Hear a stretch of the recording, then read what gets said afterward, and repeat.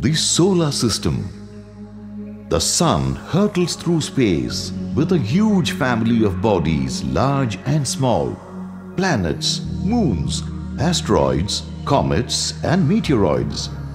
We call this family of the sun the solar system.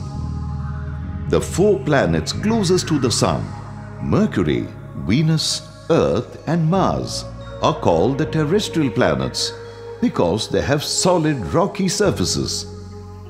The four large planets beyond the orbit of Mars, Jupiter, Saturn, Uranus, and Neptune, are called the gas giants.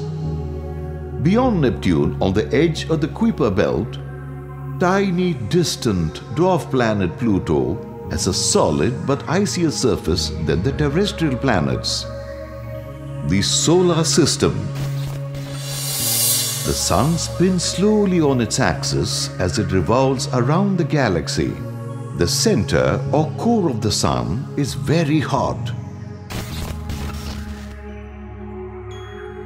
The Sun is by far